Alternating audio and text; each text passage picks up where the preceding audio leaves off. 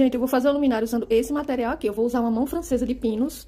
E aí, vou usar esse plugzinho, esse aqui, que é um soquete, esse interruptor, a lâmpada e o estilete. E vou usar também essa parafusadeira. Vou começar furando a mão francesa nesse local, nesse e nesse, para passar o fio. E ficou assim.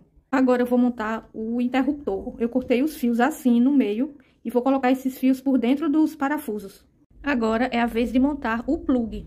E, finalmente, montar o soquete. E prontinho, instalei na parede com fita adesiva. E essa é ela acesa à noite. Olha só que linda que fica no ambiente.